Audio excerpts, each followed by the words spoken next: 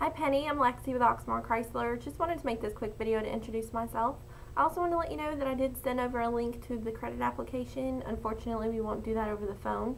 But if you fill that out and submit it, it'll come right back to me and I'll have my managers review it and we'll see what we can get you into. If you have any other questions, don't hesitate to give me a call or just reply to this email.